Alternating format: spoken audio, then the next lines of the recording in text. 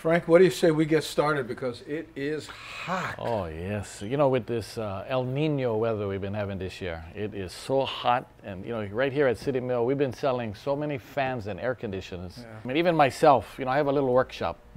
My workshop, there's no air conditioner, so I'm here working on projects and I'm sweating. The temperature outside 90, 95 degrees. So I figured, how can I keep myself cooler? And I don't want to go and invest in a air conditioner that could cost several hundred dollars. Let's and, get, let's get a shot. know, here we have a shot of air conditioner. So what I decided, I'm going to make the poor man local style air conditioner. Make an air conditioner? Yeah. I'm going to make one. And so basically, I got a five gallon bucket from City Mill, Yeah. right? With a cover. I got a bag of ice.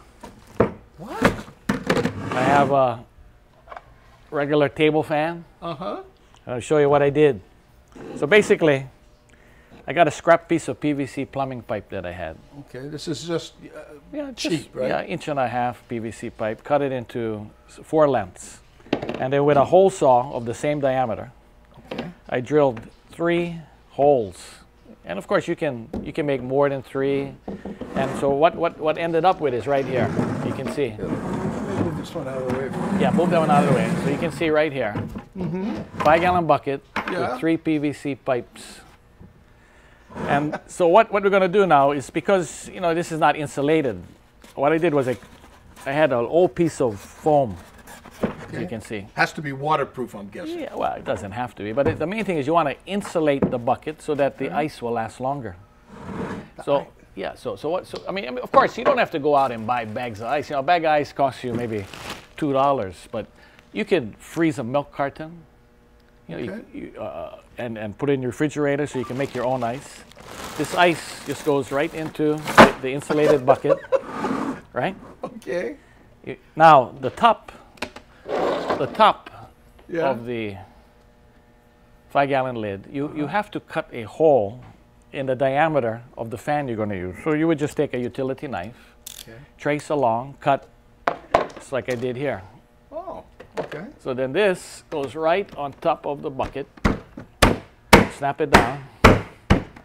You take your fan,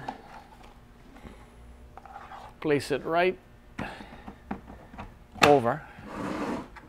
So- Such. So you would cut the hole depending on what kind Right, of fan you. have. right. Of course, now the more powerful the fan, Yeah. you know, you put a Vornado fan in there, and you're gonna feel some cool air. Well, I, I still don't understand. So it blows on the ice and it comes out right. here. So, so when you turn on the fan, yeah. what's going to happen is the temperature. If you're standing within three feet of it, Yeah. the temperature is going to drop between six and ten degrees. Well, you can already feel it. Yeah, you can already feel the cool air, right? And so if you're doing a little project, you're working in your workshop, Yeah. a bag of ice like this can last four to five hours. Four to five hours Okay. of cool air as you're doing your project. And the cost of doing this very inexpensive. You know, the bucket itself is three to four dollars.